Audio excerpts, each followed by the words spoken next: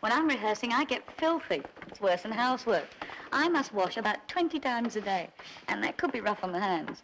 Well, it could be, but it isn't, because I use this. Nulon. You know, it's quite true. Use a little Nulon any time your hands have been in water. It's much better than putting on cream at night, and it doesn't take a minute. You see? It's not sticky, and it's not pricey either. So keep a bottle in the kitchen and get the Nulon habit. Out of water? On with Nulon.